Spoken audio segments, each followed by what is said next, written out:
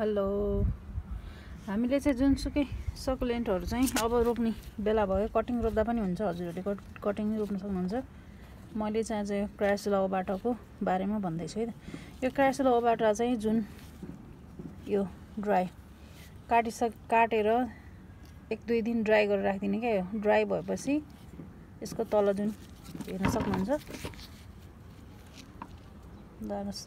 यो ड्राई भएपछि चाहिँ मजाले सर्छ क्या एकैछिनमा।